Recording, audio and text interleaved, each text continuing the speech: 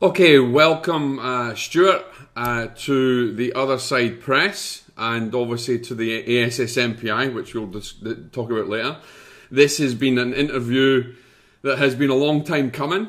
It has been uh, uh something that we've tried to do for a while, and uh, thankfully the day has now arrived. So obviously, those on the other side of life are obviously happy that this is moving forward.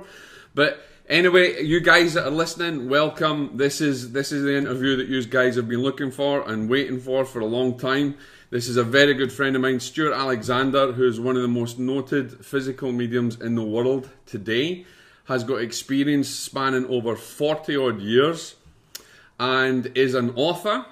That's correct. And also, you are the producer or part producer of a archive, if you like, of uh, of seance recordings that, that are, which we'll talk about later on in the interview, Stewart. And uh, yes. but welcome, absolutely, you know, welcome.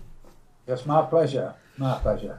Now, Stewart, obviously there's there's there's a lot of people here that that will be coming on to the site or to the magazine, and uh, they won't they won't know exactly who you are. I mean, in in in, in reality, you're a very well known person within our niche, within our field of research. But they yes. don't know who you are and what you work. Would you like to tell everybody a little bit about your background and what you do? Okay, yeah. Uh, so far as my background is concerned, I was born into a family that had absolutely no connection whatsoever with spiritualism. Now, I do believe that mediums, uh, most of them can tell stories about the childhoods, about strange events that took place during the childhoods. And of course, this they come to realize in later life uh, was, shall we say, mediumship in the uh, in the embryo stage. I don't know if that's the correct word to use, but in later life, in adulthood, they went on to develop the mediumship. And I think most mediums can say this that during childhood they had experiences. So, may I tell you my first experience? Absolutely. I think everybody would love to know what your first experience is. Okay. Well, it, took, it was probably the most dramatic of all the experiences that I had as a child growing up. And this was when I was five years of age. Uh, and I'd just started school, primary school, and in those days, unlike today, uh, parents or grandparents would take the children to school on the first two or three occasions, after which they were on their own to go to school. It was a much safer world. These days, certainly in England, parents and grandparents take the children to school, then collect them at lunchtime, bring them home, take them back, bring them home. They're never allowed to leave the school on their own as, as tiny children. But back in those days, it was different. So I suspect that my mother probably took me to the school uh, for the first three or four occasions, after which I would walk on my own. Now, the school was approximately 15, 20 minutes walk away from where I lived. And on this particular morning, I don't think I'd been at school uh, for very many uh, weeks. On this particular morning, I walked to school, arrived at school about 10 minutes to nine, walked into the playground, played with my friends, and just before nine o'clock, when the, the morning bell would sound, calling all the pupils in, uh, suddenly I knew beyond question that my mother was in trouble. I didn't know what wow. kind of trouble this was. I just knew it. That you had that in intuitive feeling. Oh, absolutely. Yeah, yeah the morning bell went. We went into the into our classrooms, and throughout the morning, I was panicking more and more, and my thoughts were solely with my mother back home. When the lunchtime bell sounded, I ran home as quick as I could. I ran into the house and into the lounge, and the sight that met me I've never forgotten. I don't have to close my eyes. I don't have to talk about it to see this. I see it all the time.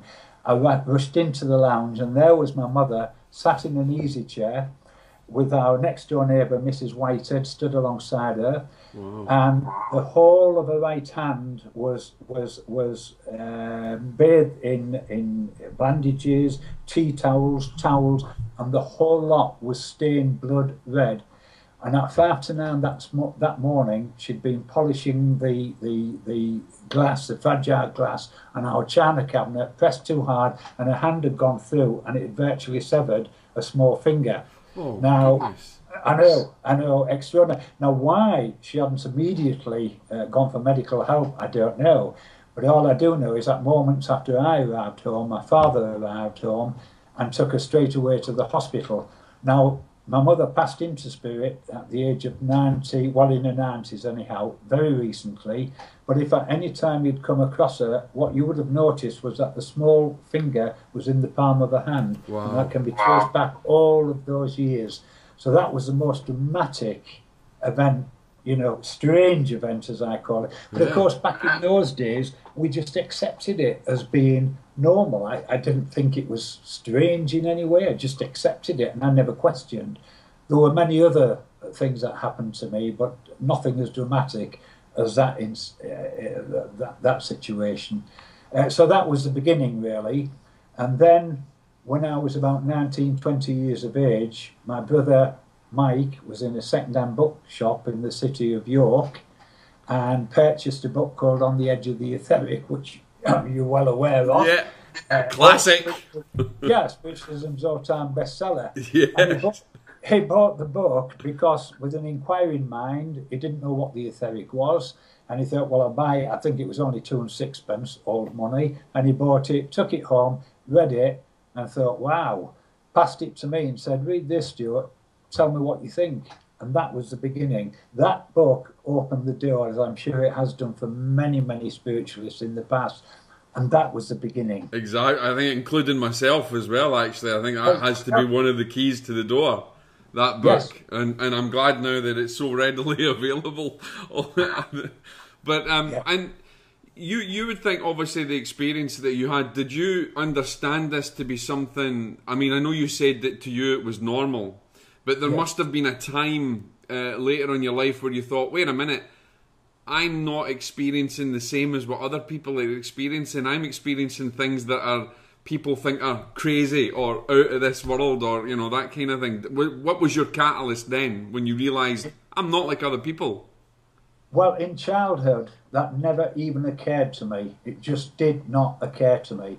I, I could say with certainty when we used to leave the school, this was the high school I went to, uh, I would know if a bus was coming and I would say, right, run, there's a bus. And there was no way I could have known. And we'd all run and there was a bus. And if, if people would look at me and say, no, there isn't a bus, so we all walked. leisurely to the bus stop. but I just accepted it as being normal, you know, just accepted it. I never, never queried it at all. And it wasn't really until I became involved or found my interest in spiritualism that I started to look back and think, well, yeah, maybe this was you know, indicative, suggestive of what was to come later. It was maybe the catalyst that was preparing you for something that was later on. No, I'm, I'm sure everybody, um, everybody has their own story about how they came into spiritualism. Whether it be, I've I've heard stories from accidents to appearances to materializations. I mean, there is the whole gamut of of uh, spiritual knowledge available there from people. But how how did it happen for you, Stewart? What was the catalyst that that kind of threw you into spiritualism? It, it was basically, it was on the edge of the etheric.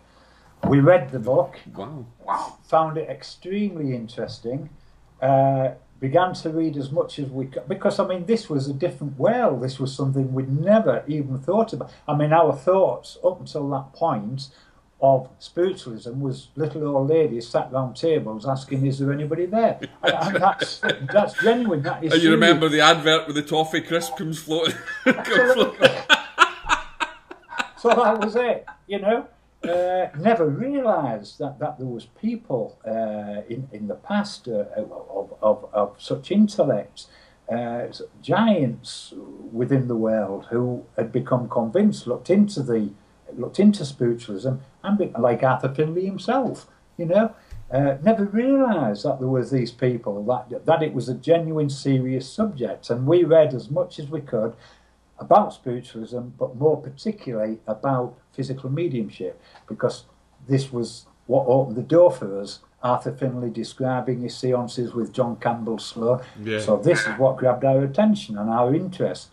Then, after several months, we began to visit a spiritualist church, and I have to say that was very disappointing because it was bore no relationship at all to what Findlay had, had mentioned.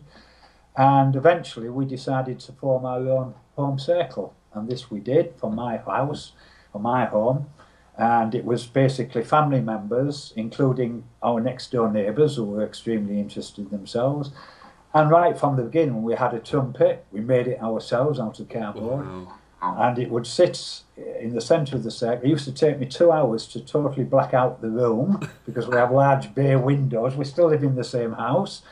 And it used to take me two hours to black it out totally.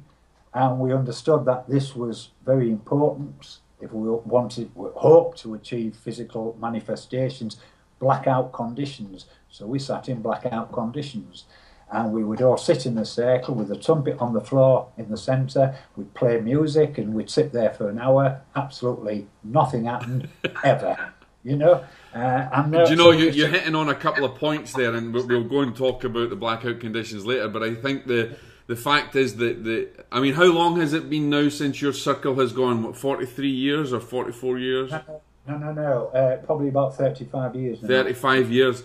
And since since obviously, I mean, people will will be really interested. You you set up your circle, and you were. It, it seems that there's two different, distinct um, uh, subjects in mediumship. You have physical mediumship, and then you have um, mental mediumship.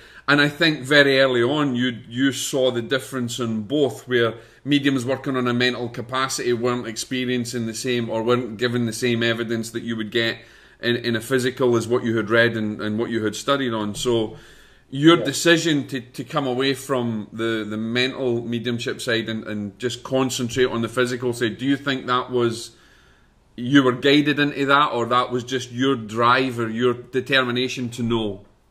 I don't think that we came away from mental mediumship at all.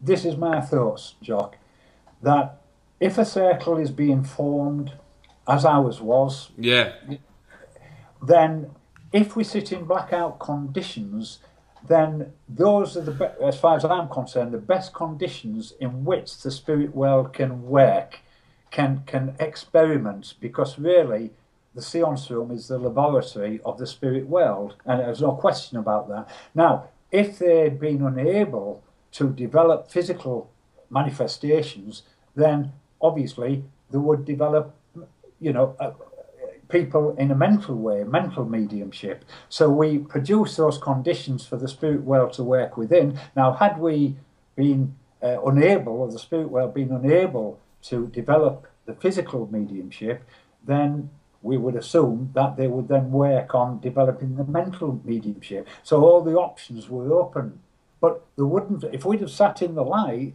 there would have been absolutely no way that the spirit world could have produced physical or worked on producing physical manifestation. So we opened all the doors, if you like, by sitting in those very conditions. Right.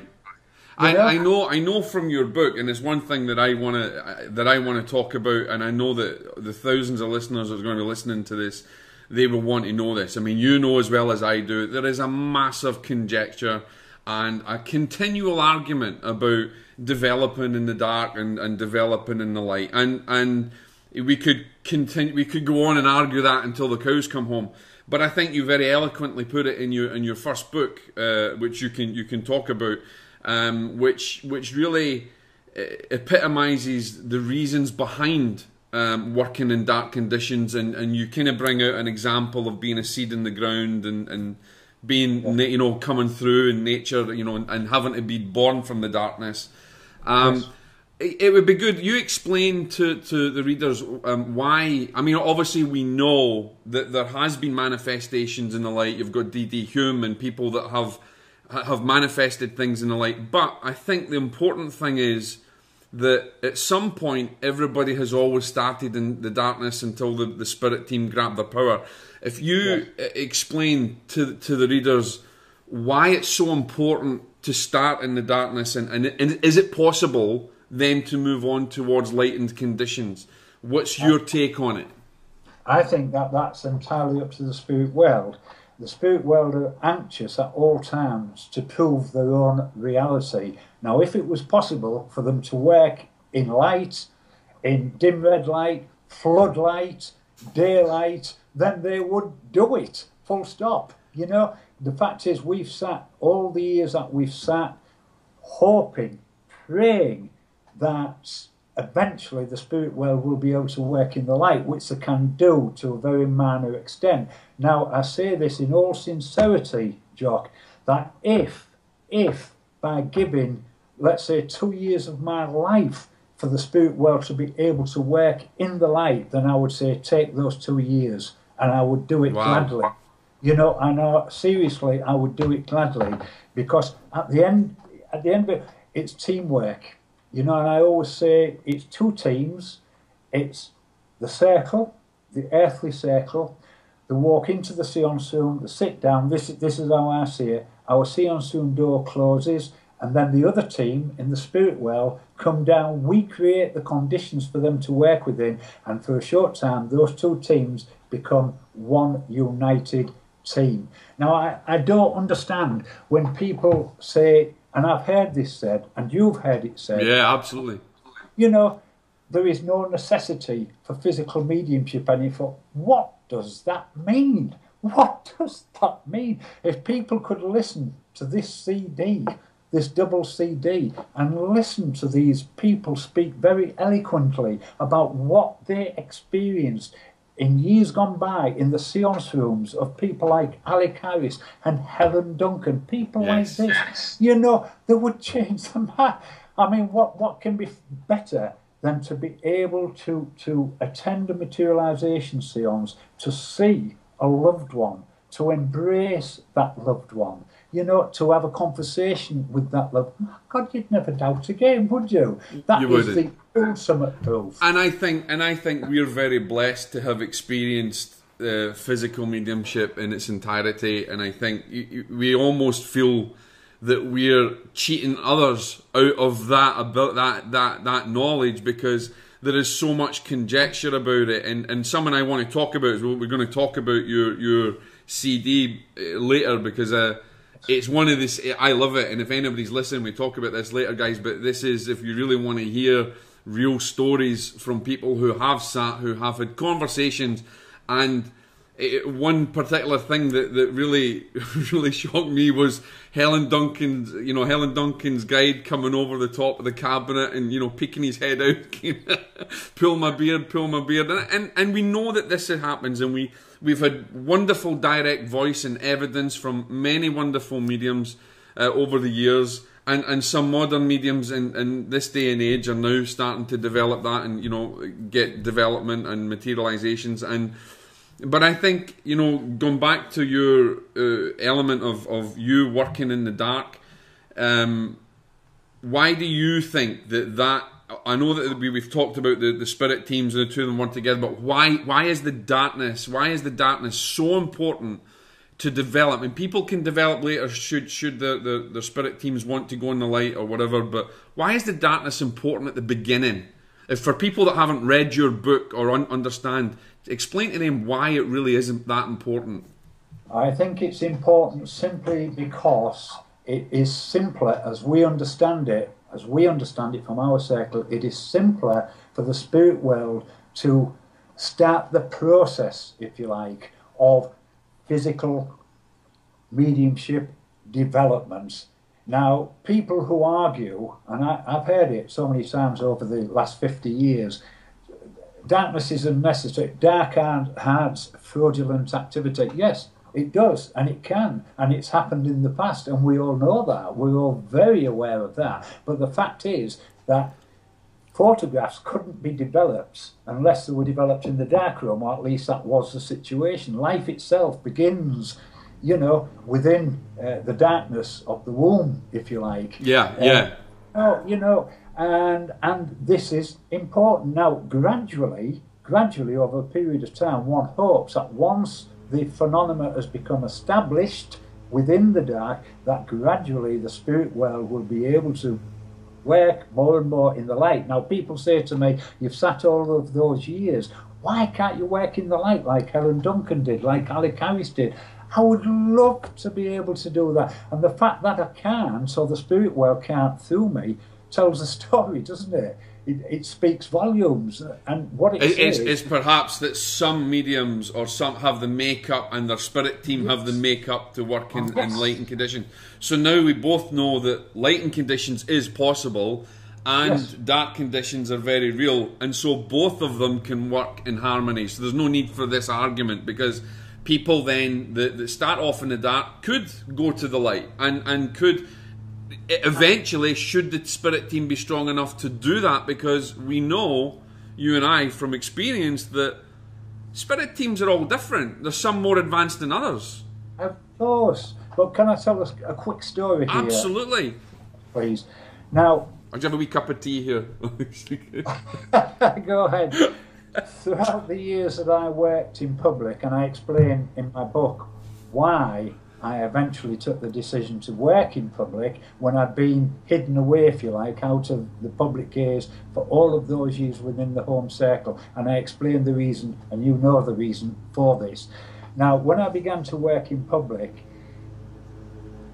so many times, so many times after seances, people would come up and say, Oh, thank you. I spoke to my mother, I spoke to my father, whoever it was. And I always used to say to them, Well, as long as you enjoyed it.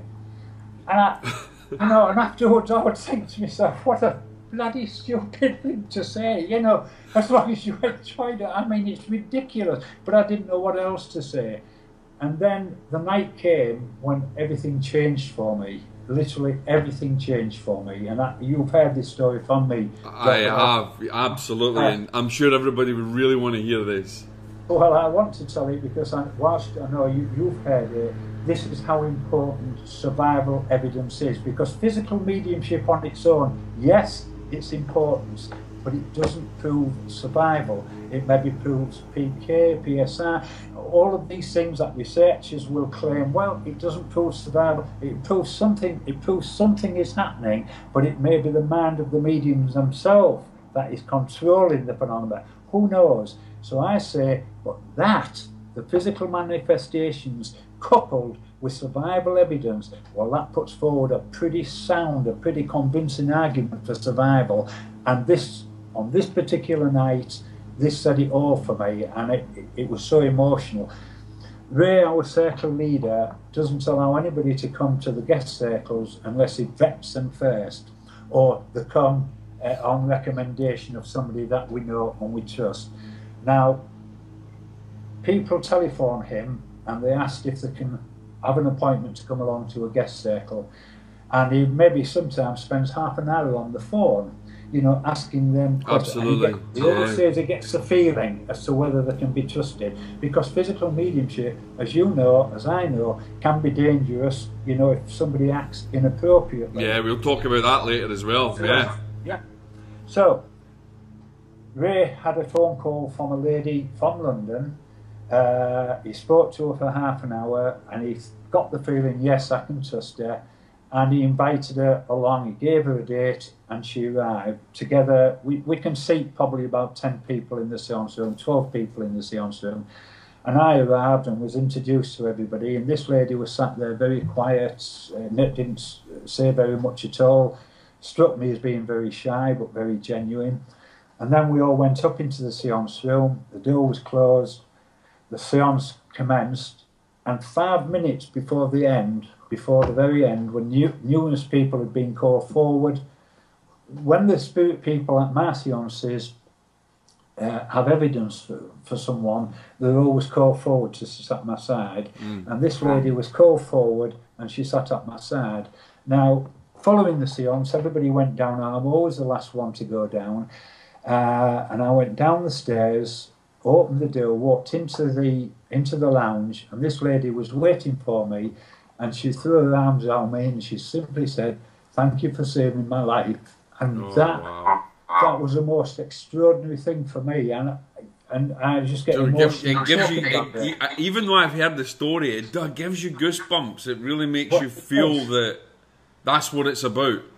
It does, and I, and I just thought, well, that is that is what mediumship is about. Now, I'm not in any way sort of, you know, blowing my own trumpet. That's not the reason I've told the story. I've told the story basically because that is the importance of spiritualism as far as I'm concerned. And physical mediumship combined with survival evidence, that puts forward a very convincing argument for the reality of survival. That's my opinion. Yeah. Absolutely. And, and I think it's an opinion that's absolutely that's shared by, by tons of people. I mean, I know at the moment there's this argument where there's uh, there's there's physical mediums uh, that are demonstrating in a physical way and not getting uh, evidence. And one of the things I think is that, and again, this is just my opinion, that maybe we've moved forward and, and we've we've advanced in so much a way that we're now getting to the point where maybe there can be two camps of physical mediumship. Maybe there's there's there's there's a point where there can be camp A, which is purely physical, and showing how they can manifest or how they can break through scientific barriers in this world, and then the evidential part of things, which is really important. I, I find it, it, it's a shame that we can't have both together. I mean, there's very I think it's very very rare. There's only you and, and a couple of others, and I, and I believe there's a few other mediums that are underground that are not in the public eye that do get manifestations and physical, uh, evidential uh, manifestations as well, and hopefully that will come to the fore at some point. And I think there's a there's a very distinct. There seems to be now a very distinct uh, segregation of physical yes. mediumship, and and and um, but one of the other things I think is is important to, to say is just let's jump back a little bit how dangerous it can be. Now, particularly, yes. I'm one of the probably the few mediums that I do believe there's a light and a dark side, right? I, I, I've, I've experienced it, I, I have knowledge of it, I've studied it for many, many, many years, and I don't want to, to tint myself with rose coloured glasses. But as well as that being uh, a reality for me, I think there's also the the danger not only from a, a, negative spirit point of view, but there's also a danger, as you mentioned, of mediums being physically. We know about Helen Duncan. She had burns on her chest, and the many times it happened. Our, our friend Kai, who who got you know he get cut as well, or he had blood on him, and and I don't know uh, if and it's something you might want to share if if you've had any experiences where somebody has been silly and it's affected you because I, I know that the that people can go into a seance room. It seems to me that it, at one point back in the day, it was a very serious thing, and people went there for evidence of life after death. And I think there's a small element of it now, is like it's a night out at the movies. Let's go to a seance um, have something to eat and enjoy it and see it. And then I think in that situation can be dangerous to the mediums because we know of mediums who have been hurt uh, yes. in the past. You know, Kai, other mediums, Helen Duncan, modern mediums of this day as well. Um, what do you think is is the issue there? Do you think it's ignorance for the people, or do you think there's a, a very real uh, danger on both sides of the fence? And also, from a negative point of view, a negative spirit, because we know that we've had evidence of that as well. That's happened when seances or when circles have been silly. Yes, yes. Well, I think the, from my point of view, I, I can quote Walter, who works uh, through my mediumship. Yeah. And he always says, or used to say, when I demonstrated physical mediumship publicly, which I, have stopped as yeah. last September, as you know. Jock, uh, he always used to say whenever uh, a public seance was, was coming up, then he always used to say, treat every seance as if it's the first one that you've ever given. Never become blasé. Never assume that because everything's been fine so far, it will be for always fine. Always be very, very cautious, be very careful. And I think that people need educating. I really do. And I know for a fact that Kai spends quite a bit of time before the sitting speaking to everyone, telling them the do's, the don'ts, what is appropriate behaviour, what's inappropriate behaviour. And I can only say this that I am aware, as you are aware, Jock, and, and probably most of the people list, who will listen to this uh, interview, that mediums have in the past been seriously injured by inappropriate actions. Some of it probably innocently, Yep. uh, some of it by design. I've absolutely no doubt of that. And I always go back to um, a time some years ago when I was communicating via cassette tape with Helen Duncan's son, Henry Duncan. Yeah. Uh, her husband was Henry, but one of her sons was Henry also. And at the time, he was living in Australia. And we used to have quite a, correspondence going between the two of us, and it was so interesting to to, to, to you know to have this uh, with with her son.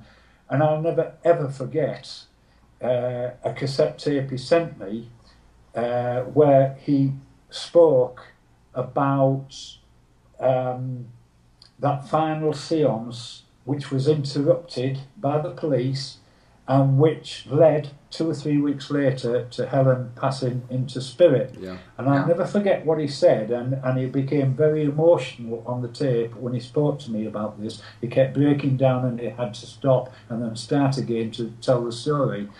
And he said that his mother had, uh, had died, was laid out in the bedroom. Uh, his father was sitting at his at the bedside. He said, "Now I was going up the stairs, Stewart."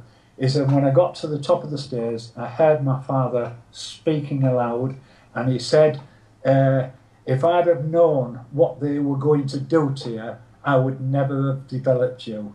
And it was such an emotional thing to hear this, and I thought, Wow. this woman, this woman who had this wonderful, wonderful gift, you know, it's criminal, absolutely criminal that this actually happened. And of course, Alan Crossley, you, you Yeah, you yes, know Alan yeah. Crossley from our book, you know, the, the most genuine, sincere, educated spiritualist I ever met who had the great fortune to sit with these great, great physical mediums who today we can only read about. And I remember him saying that his only amazement was that Helen Duncan sat for so long and, and people were always welcome to take part in the seances. They could come off the street, it didn't matter. You know, she would sit for them. And that was the amazing thing for him that she actually lasted for as long as she did. You know, and this is why it is so important that we are very, very cautious that people should be educated. If they're going to take part in the physical seance, they should be instructed and informed why it is that it is so, you know, so important that people, you know, behave in a certain manner. And it is important, you know. Absolutely, and and also I think there's uh, there there is many um, there's many people that uh, set up a circle, go into a séance, and don't take the requisite spiritual precautions, and and therefore we do have mischievous and evil spirits. Let's face it, and and to deny it. To deny it is foolhardy because it's almost like you just don't want to face the reality in case you have to deal with it. Uh, and I know of an, an occasion. I think I spoke with Robin uh, Robin Foy, uh, another friend of ours, um, many years ago, and we were talking. And, and I know that Helen had experienced it in her time, um, where perhaps Oh. the, the circle. Yeah, we know about that. And uh, and then there has been other mediums that have experienced it. And I, I don't know if, if if any of our modern mediums have experienced it. I know that. Um, nowadays, I know David Thompson, just like Kai, takes a lot of time to explain safety. Um, and and I think, uh, and obviously Warren and other people there, they explain safety and they go in to do it. But do you think we should also educate our people who want to develop that, wait a minute, there is a negative side to the spirit world and you need to be aware and you need to have discernment and you need to know how to deal with this because when we sit in a circle, you know that we take the relevant precautions and we protect ourselves. There is always going to be a negative side that will want to try and, and, and get in there. And, and, and whilst we understand that we're protected, there is a danger there. And I think it's very foolhardy for us not to understand that because if we really study physical mediumship, there has been tons of people have experienced that. Yes. Well, I, I honestly, uh, John, I, I believe that like attracts like. I wondered if you were going to bring that up. I don't, and I believe also that the most important ingredients within any circle, the most important ingredient is sincerity of purpose. Full stop. Love, yeah. Now, I can honestly, you know, we can only speak, you know, in terms of our own knowledge, Yeah. our own experience. Exactly. And my Exactly. own experience is that I have never, fingers crossed, had a situation where, you know, something untoward Has has, taken place within. And I like to think that is because the spirit team, if you like, are so close to us, you know, that they would not allow this. This, this is all I can think. And, and, and I put my trust 100% in those spirit people who work with me, 100%, you know, and I trust them probably more than I trust most people on this side of life. No, an- an interesting point, I think, is the is the time scale. We're getting a bit of Yes, yes, yes, yes. reverb. Yes. Is the time scale because we, we know that there's a lot of mediums that sit and they're in a rush. They're Oh, in a yeah. rush to get that direct voice. They're in a rush to get that first bit of phenomena. And Yes. sometimes I think that can that can perhaps make them a little bit foolhardy. I know that Kai developed over many, many, many years, as other people. David Thompson, from from his early to, to modern day, yourself developed in a long, long period of time. We have people that are in too much of a rush these days, and I think that, um, and and I think I, I think you'll agree that if you're going to take up the path of physical mediumship, then you need to understand it's in a long haul. When was the first experience within your circle? How long had you sat till you actually experienced something physical in your own circle? You, you're talking now of physical manifestations. Physical manifestation, uh, physical phenomena. Probably about 15 years, I would think. Wow. Probably, So, so guys, the guys that you guys that are setting up a circle at the moment, you're in for a long haul. Not necessarily, John. You know, I've always said that advancement within our circle has been painfully, Painfully painfully slow. slow. But there is a, I know there's a reason for that. And if the Absolutely. spirit world could have produced, you know, whatever, uh, in a much uh, shorter time scale, they would have done it. And the fact is, and this is another reason I trust them 100%, because you know, our lives are in their hands, if you like. Really, literally in their hands. They have a great duty to us to protect us, to look after us, and therefore everything is proceeded slowly. In my case, with, with other developing physical mediums, it might happen a lot quicker. I don't know. But what I do know is this that we're living in an instant world. Everybody expects instant results. And I'll tell you now, I'll tell you now, the one, in my opinion, one of the reasons why spiritualism has not progressed in the way that, you know, 50 years ago, 100 years ago, the, our forebear, uh, forefather hoped it would progress is because of the fact that people now do no longer have the patience. Years ago, there wasn't the distractions that we have today. There wasn't, for example, television, radio in the early days of spiritualism, all of these distractions, you know. Um, so people would make, you, you know, that people speak about the fact that years and years and years ago, for entertainment, whole families would come together around the piano. Somebody would play the piano, Yeah. everybody would sing. They formed their own entertainment. And these were the days when people sat in impassioned silence within circles and, and they had great patience and sat there and sat there and sat there year in, year out, sat there. This is where the great mediums came from, out of the home circles. What have we got today? We've got a shortcut to the And- and I think of that- mediumship. and We've you got, know- I think that can actually go a long way to explaining perhaps why we don't have as much life after death evidence absolutely. from circles. I I know there's very few out there that actually are given it. I think Scott Milligan has, as far, I've never sat with Scott and, and or David, and I'm looking forward to doing so in the future. But I know that they've had evidence and, and various other, uh, there's been evidence there. Um, and I think that perhaps because we're in so much of a rush in our circles, then maybe we're not giving spirit world you know, a chance to say Absolutely. we need to develop you to uh, don't go out there yet. Let us develop you for ten years until we can bring our loved ones through. Absolutely, absolutely. Isn't it a case now where I won't say we? I don't mean that as a blanket sort of statement. many, many spiritualists are now dictating to the spirit world dictating to the spirit world instead of waiting upon spirit. People are in yeah. so much of a rush. People can now go on courses and the promise, oh, this will refine your mediumship. This will do this. This will do that. So people pay the money, go along to the, and a few weeks later come out and they're demonstrating on the churches. It's bloody ridiculous. It is. It is. You and know, I think, and and that's why the ASSMPI was born that many years ago with Robin, and now that you're a part of it, which is phenomenal, and it's grown with such a, a worldwide uh, force behind it. Um, it, I feel very uh, honoured that the spirit world kind of gave me the kick and says, you know, this needs to happen because we've maintained, and our slogan is that we're listening to Spirit, for Spirit, listening to Spirit, getting back to Spirit's message, which is really, really, really important. And I think that's something that, that, that we're all moving forward for and trying to set standards and things. And, and everybody is in a rush. And, um, and, and, I, and I think if we you know get back to the point and take our times, maybe we'll actually get further forward in, in our yeah. advancement, and maybe we could even do a, a lot more in the future um, yes. I know that there, there's many science, and here's the other thing: that there is there is many. I, I try to maintain not a, a it's a science. We have to be very scientific, but we can't be medically scientific about it because you know we have to.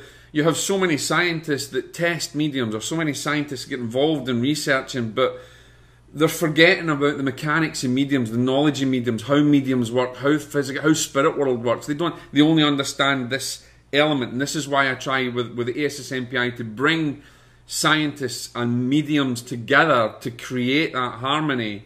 And yes. and of course, and I want to just jump back a little second. I think something that really important that we need to talk about, and this is there's a hypothesis you know as well as I do in many occasions uh, God, our dear friend uh, Colin from many years ago uh, was caught. Uh, other people have been caught in, in, the past, Warren and various other people that, that were caught with trumpets or whatever it was, or people claiming that they'd done something.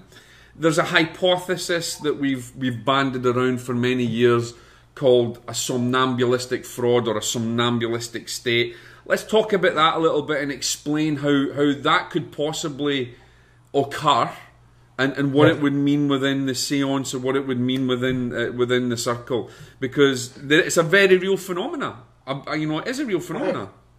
It is.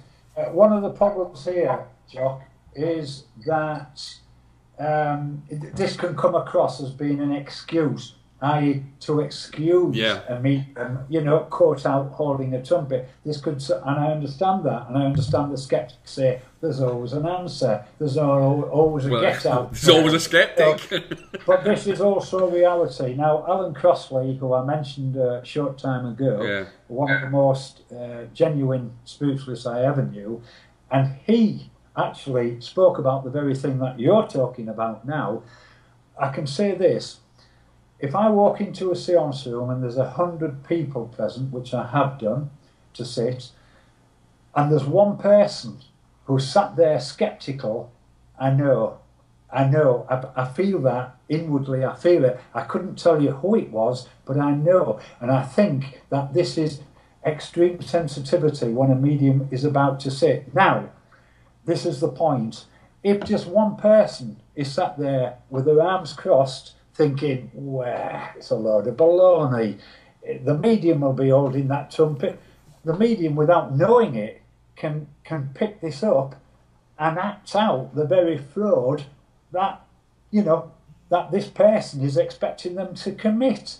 Now, it's easy, obviously, for, for a skeptic to say, well, it's just a convenient excuse, and it may sound like that and it may come across like that. But I do see the possibility in that. I do, because of what Alan told me. He once sat many, many times with a particular medium who remain nameless. Uh, sat with this medium in their home circle, and he said that sometimes it was obvious that the medium was actually doing these things themselves. But he said on other occasions, in red light, we used to sit and we used to watch this guy being held totally controlled, and you would see the ectoplasm come from him, form a mound in the centre of the circle from which the spirit uh, person would then materialise. And he said, it was unaccountable, it was unbelievable that this guy, who was producing, obviously, uh, in a fraudulent manner, yeah. certain phenomena, in the next breath could be, be, producing something quite genuine. And he advanced that theory, Alan Crossley, that perhaps the medium is picking this up and acting out the very fraud that somebody is expecting them to, you know, which would answer, you know, yeah, uh, and you know, the, the and, and, I think that, I think this is what's happening. Another explanation there as well, which is kind of parallel in, in the same way, is from from studies and things that I've done, is that um, there is a there is a line of thought that. Uh, as we believe as spiritualists, or, or, and even in every religion, that spirit animates the physical body. Spirit is the animation, the power, the, the battery source between, be, behind the physical body. That perhaps the spirit is actually animating the physical body of the medium and, and causing and, and controlling the body in some way and maybe causing it. Now, we don't know if that is a good spirit or a negative spirit, but some people have said that perhaps that's an explanation for it. Like a mischievous spirit. Yeah, and like... animating the body. I mean, I, I don't. It's kind of very hard to kind of take on board, but I could see how a spirit could animate the physical body and, and possibly carry it out. And there's another there's another point here, uh, Jock, and that is if we take as an example the medium who everybody quotes, Eusapia Palladino. Oh, now oh, yeah. we know for an absolute fact that she would warn researchers, control me, watch me, or I'll cheat. And the fact is that if they let go of a hand, for instance, she would reach out and move something with a hand. Yeah. And it was a compulsion, maybe subconscious. But if they hung on to her so she was incapable of any movement, the most extraordinary phenomena, phenomena would take place at a distance from her. So there's another thing. You know, maybe the medium unconsciously takes the easy way out. You know, and that is Possibly. precisely why that yeah. is precisely why, John, I say it's so important that the medium should be controlled and now, in my own case, apart from being controlled physically, I also insist on luminous tabs. I was going to talk about that. I think that's great. Well, people know all the time yeah. exactly where I am, and that's important to me. Very, very important yes. to me. You know? Yes. And now, when phenomena is produced, very often they bring me out of trance, so I take part in it. And the reason for that, I've come to realise, is not just so that I can witness these things for myself, but more importantly, as far as I'm concerned, that people know exactly where I am because I take part and I talk. So people know if a, if a trumpet's five metres away from me, it's nothing to do with me. Exactly. You know? and, I, and I think that shows as well the length of time that you've sat in dedication that you're able to do that. I think very, very few mediums are able to do that. I, I know Leslie Flint was able to do that towards the end of his yes. career. He could yes. sit and listen and converse converse with yes. the voices as well. And I think that's absolutely phenomenal. And and I'm I'm I'm delighted that you brought up the the, the four way control with the luminous tabs. And I think you know you know Kai. whom I've uh, sat with and tested, and, and uh, he has a four-way limb control system, which is, is phenomenal the way he does it as well, and it, it doesn't give any any cause for concern. I think that's and that's something that, that you and I have discussed that when we move forward to try and develop sort of training standards and standards for physical mediums and development that we're trying to take all this into consideration and eventually the ASSMPI will release a standards developed by a team headed by yourself and other and, and, and hopefully Donna and other people that will not tell them this is the way it should be done, but these are the steps that you could look at. These are the standards we're looking for, and this hopefully will help you to develop in a more progressive, more professional, and positive role manner. And that's something that we're looking at in the ASSMPI. And you know, it's, it's something that we definitely got to look at.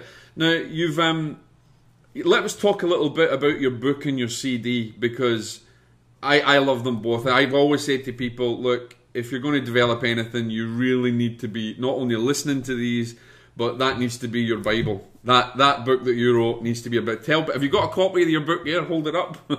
I haven't. I've come prepared. Don't worry, we'll do it another day. I, I've got it. It's on the site. If you go to the Otherside Press, you'll see his book on the site. Uh, Stewart Alexander's, and it's his life story, and uh, and it's just phenomenal. It is really a Bible reference of physical mediumship, and I think the companion to it is you. You're very great. You sent me over your, your CD to, to listen to because my good friend Leo had a problem sending mine. so, so, but we got that. So Leo, you've naughty, you've got it. But anyway, it's a phenomenal work. You've taken years of seances from your society and from your circle, uh, and, and including Tom Harris and and you know that was their brilliant mediums, you know, and uh, various other media and Helen Duncan and experiences. And it is really like being there when you listen to it. You know, what made you want to just do all this and bring all this together? Right. Uh, well, first of all, Jock, can I say about the book, uh, which will only take seconds, An Extraordinary Journey, that's the title of it, and it is available through Amazon.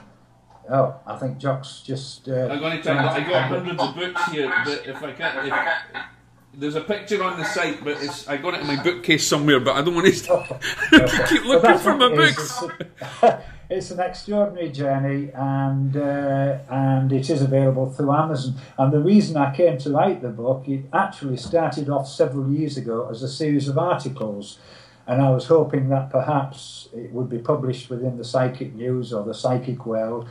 And having written several articles, I put them in a drawer in my desk and more or less forgot about them for two or three years.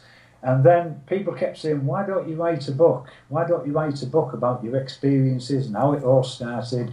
And eventually I thought, Well, maybe they're right. And I took out the articles, looked at them, and thought, I wonder if I can use these as a basis to. to... And so it took two years to, to write. Uh, and that was intended to be my first and my last word on my own mediumship. uh, I think, I well, you know, it was Jock, and I think it yeah. was an interesting journey, you know, and I like to think that it will help mediums who were just. Oh, absolutely. I mean, it helps. It's helped me, and it's you know, it, it gave me the. Well, you've seen my you've seen my seance room. It's given me my my my desire for it. You know, I remember when it came out years ago.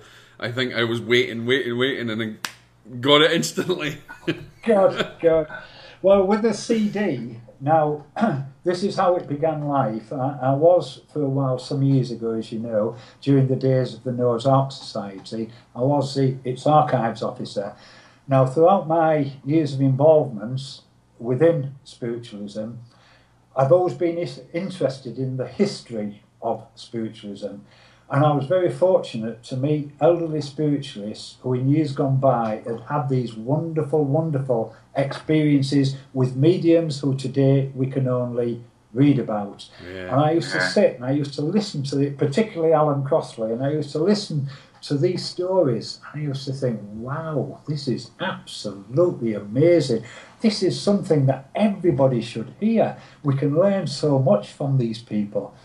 And eventually, I put an advertisement uh, within the newsletter of the Noah's Ark Society inviting these elderly spiritualists to come forward to contact me so that I could appeal to them to make cassette tapes of their experiences. So they could donate them to the society and therefore they would be preserved forevermore to be made available for present day and all future spiritualists. Because these these experiences, I reasoned, should not be lost to the movement, and yet they were being, because as these elderly spiritualists were passing into spirit, so their experiences were going with them. And I thought, this is this is tragic, this is terrible. So I put the advertisement in, uh, also in the psychic news, and then these elderly spiritualists started to contact me and they began to donate, send in the, the uh, experiences, told in their own voices of these wonderful, wonderful sittings I'd had with Alec Harris, Helen Duncan, Jack Webber, all of these people. And I, I had over, I think, over 50 of them. And they were all cassette tapes and they were all in my study. When the Noah's Ark Society collapsed, they stayed there in my study. 20 years later, 20 years later, oh, and incidentally, I did produce um, a cassette for the Ark of uh, a selection of these stories, and the Ark marketed this for its members. Now, we move forward 20 years, and up to last year, in fact, or the year before last. And I suddenly thought, my God, I was working away in my study one day and I looked at all these cassettes and I thought, oh my God, I thought I've been sitting on these all these years. And in actual fact, I've been guilty of silencing these people. You know, they, they trusted me sufficient to, to, to, to send in these cassettes. And what have I done with them? Nothing. I've sat on them and I thought, I have silenced these people. So I failed in my duty. I thought, right, at my next seminar, I'm going to take along one of these cassettes. And it was from a man called Gene Woods from America, state of New York. And he told his story to me. I'd corresponded for a long time with him by cassette tape. And he had come, he was, I think he was a third generation spiritualist. And he told me he'd witnessed every form of of mediumship and particularly physical phenomena that we could hope to ever witness. And he eventually sent a cassette with all his stories, all his accounts, and one of them was absolutely tremendous. Well, they were all tremendous, but one in particular stood out, and I thought, right, I'm going to take that to my next seminar, and I'm going to play numerous, you know, cassettes, numerous yeah. Ah. accounts. So I did. I took it. I took them along, and I thought, right, the first one I'll play will be Gene Woods. So I put it in the recorder, pressed the button, found the correct position on, the tape. Wonderful. That's it. When uh, hours later, we all congregated in the in the theatre, uh, and I thought, right, I'm going to play this tape. So I, I, set the scene. I spoke to everybody about these these wonderful people that had donated these cassettes, and I introduced Jim Woods, and I pressed the button, snap. The bloody thing snapped. I did. Couldn't believe it. And I, I suddenly realised, I thought, my God, they've been sat on the shelves for 20 years, deteriorating. Oh, if no. that's happened to that cassette, it's going to be happening to them all you know, and I thought then I've got to do something with these.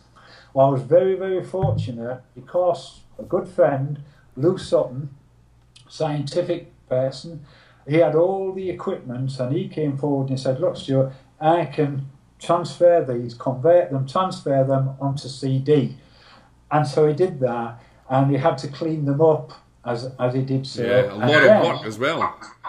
Pardon? A lot of work as well. A lot of work. I can't even imagine the hours, the days, the months that he spent on this. His wife must have thought that she was a widow because she could hardly have seen him. He must have spent so many hours on this project. And it went over for months and months and months.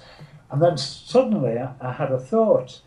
Uh, and that was, well, why not? You know, sort of take the original Noah's Ark Society cassette and add various other uh, extracts yeah. to it. And so this is what I did, and that was released under the title of uh, Physical Seance Room Recollections. And it's a double CD, and I say, and I really mean this, Joe, that every spiritualist in the bloody world ought to listen to this because I agree. It's, it's unique. It you know, re- all of these people I knew personally, and all are now in the spirit world. Uh, and you know, it's it's it's interesting because I, I have learned a lot from it myself, and and I think that no matter how professional you are, and no matter how much you think you know, there's always something there that you don't. There's always something you can learn, and I've listened to it. I mean, as I told you, my wife is sick of listening to it. It's in the car constantly, and and I don't blame her because I put that on rather than putting on music now. You know. And um, yes. but there is so much. I mean, I, I listened to maybe something you know five times over. You know, one of the the seances it was in, and something else clicks, And Yes. to be honest, guys, if you haven't listened to this, this is what only how much is it? Twenty pounds or something? What? How much?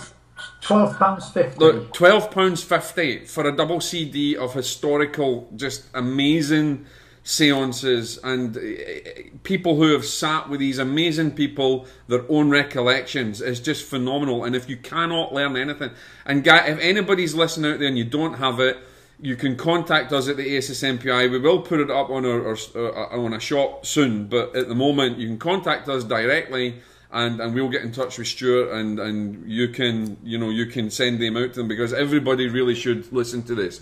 I don't care how professional you are, you really need to listen to this CD. It's just absolutely phenomenal, as Wow. well as the book. The book's amazing, and and hopefully, here's something that I think we should do as well, Stewart.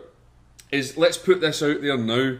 Anybody who's been sitting in seances out there in groups that are underground or anything that have have experiences, record yourself on an MP3, send it to the ASSMPI, and we will create an online library to keep, keep these people going for many years to come. Yes. And and we'll get we'll get uh, we'll get yourself to speak about them and to talk about them. And I think that's something as well as your tapes and.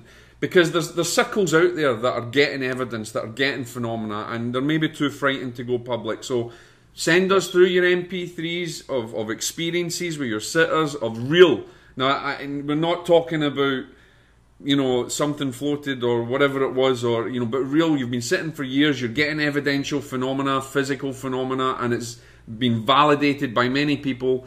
Send it to us, send the recollections, and we'll put up, I think we could put up in a, a library and and I think on a, on a on a good note to finish, there's many people, Stewart, are going to look at you as being a real authority on, on physical mediumship, along with uh, you know I know Tom Harris is passed, but Anne Harris is a good authority. There's many people out there, and people that go to witness David Thompson, Kai, all the other people that are out there, but they want to set up their own groups. You tell them what is the best thing that they can do. What's the best advice you can give them on how to set up? And we need more of these groups. We need more. We do, we do, we do, Joe. I, I think um, all I can advise is this, and I've been asked questions about this on many occasions in the past. People say, What is the ideal number to sit?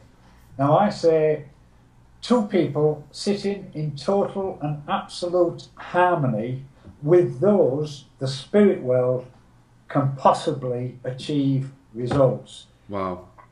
Any larger number, it can be 3, 10, 20, 50, whatever, if there's disharmony there, then the spirit world can do nothing, or at least very little. And I'll tell you a little story about that, uh, John. I don't know if I tell this in my book, I can't remember, but many, many years ago, I gave a talk at a local spiritualist church. And um, it was a service, but I was asked if I would talk for a while, which I did. And I spoke about home circles, and I spoke about this very issue about harmony being everything total, absolute harmony being everything. That's not the all. I mean, I'll, I'll continue with the best way to form a circle in a minute. But I spoke about this very thing. Uh, two people sitting in harmony, the spirit world can do great things.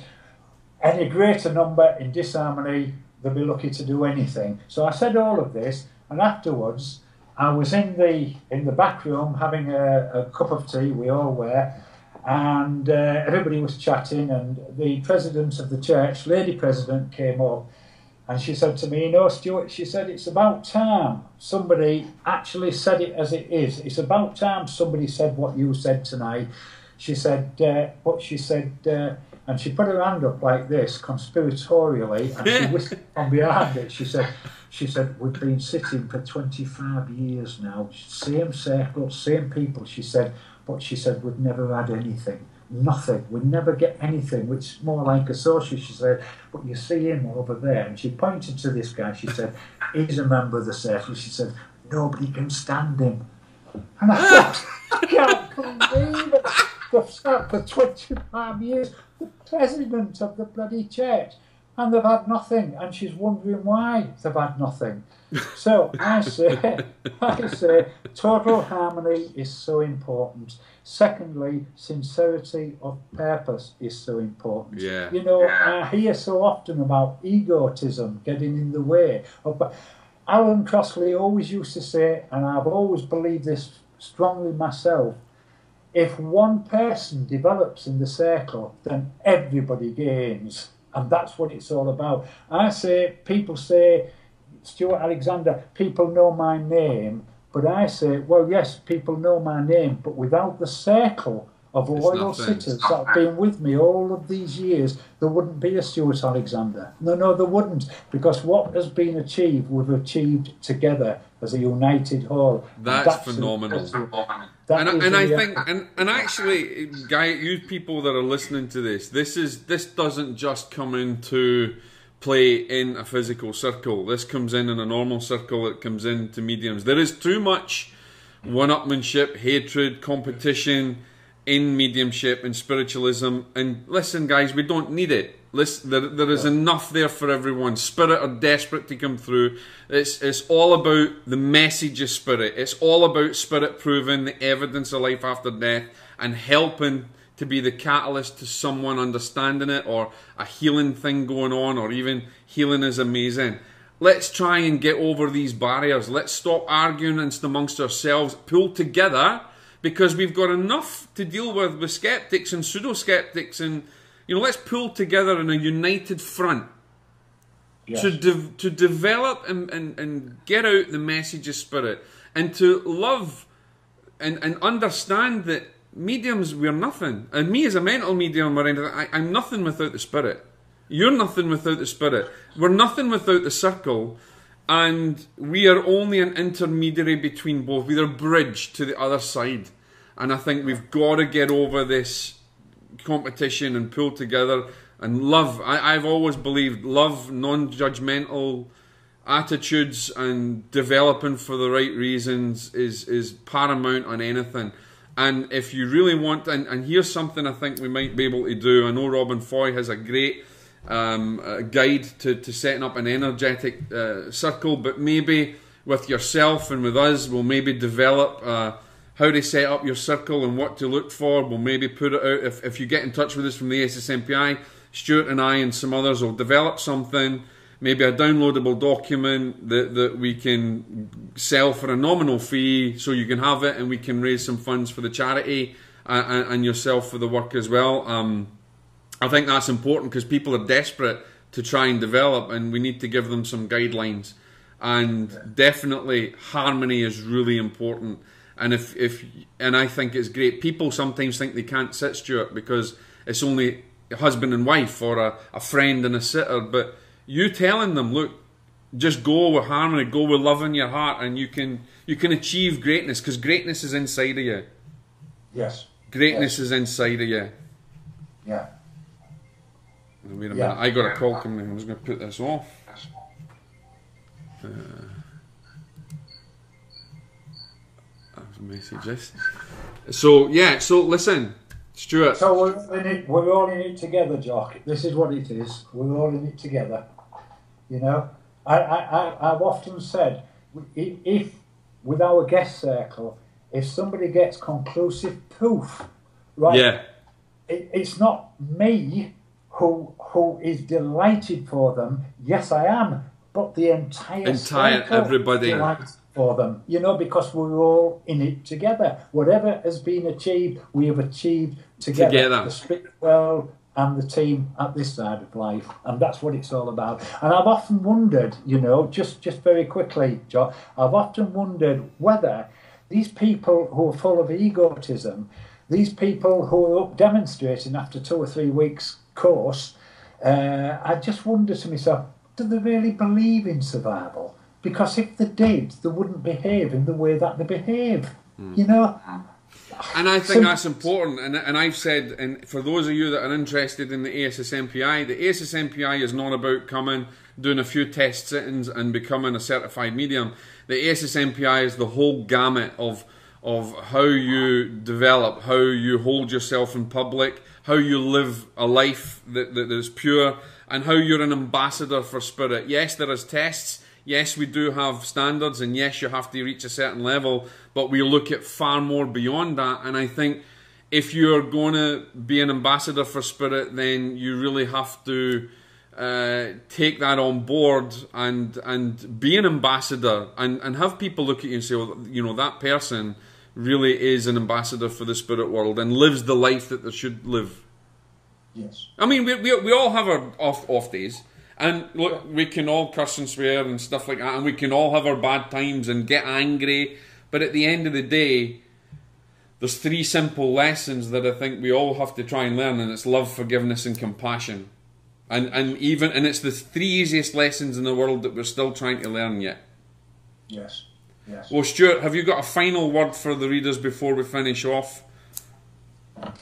Uh, well, no, only to to to say. Let me have a think about this for a second, uh, Jock. Put you on the spot. final words, final thoughts. no, all, all I can really say genuinely is that my my journey through spiritualism has been extremely interesting to say the least. And at the end of the day, it's all about helping each other. I know for an absolute fact that the spirit world is so anxious to share with us this knowledge that you know, one day we shall all be within the spirit world. That's the end of the journey, if you like, or part of the journey. Uh, so I would say that mediumship, you know, uh, please, you know, have patience, form your circles, sit together, have you've got to have inexhaustible patience, I can tell you that much.